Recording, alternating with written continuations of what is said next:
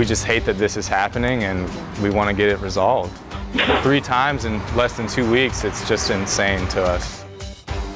Zesto ice cream burglaries following a string of break ins. The owner tells 21 Alive News he needs the public's help. It's something that's actually never happened before. Zesto's on Broadway in the fort more than 70 years, burglarized, get this, three times in the past couple weeks.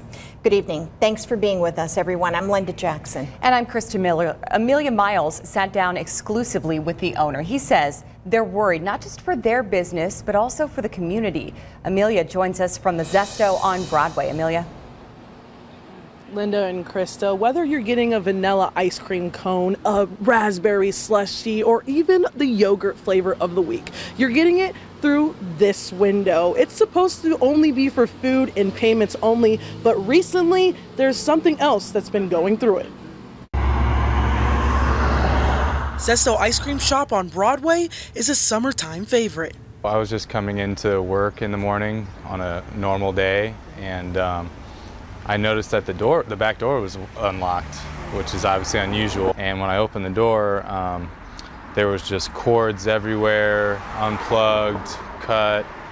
Um, the place had obviously been ransacked. On May 23rd, the owner, who wants to keep his identity hidden, tells me the thief stole their payment stands, Wi Fi routers, and more. What was even more strange is that half of the stuff that was missing on the first day well, I actually found it bagged up in a trash bag on the ground inside.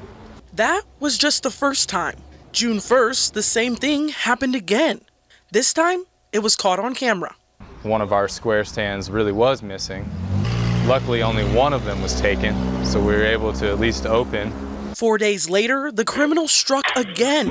This time, more recognizable on store surveillance video holding a gun and a knife. He actually took all of our new security cameras, our new TV monitor. So when you when you add everything up, it's a, it's at least over two grand. So how did the thief pull it off? The owner says the first time he broke the screen and unlatched the window. I think the next two times he was just able to force this window open by pushing it back and forth and getting it off its track and basically just pulling the window out using force. After the third break in, the owner says he found something significant in the video. I was surprised to find a, a cigarette on the floor, and when I looked back at the video, um, he was actually had it in his mouth as he came in. So I thought, this is great, you know, this will be DNA, and they're, they're going to find this guy.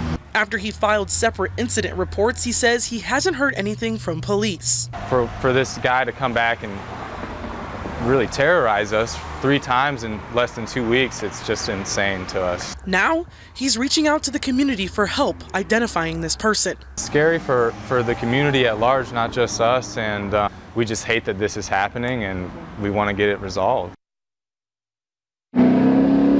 We contacted Fort Wayne Police to learn more, but haven't heard back yet. So if you recognize the person in the video, please call police. Reporting from Broadway, Amelia Miles, 21 Alive News. Yeah, you hate to hear that happening to a business. Everybody knows that Zesto location. Amelia, we hope that that helps.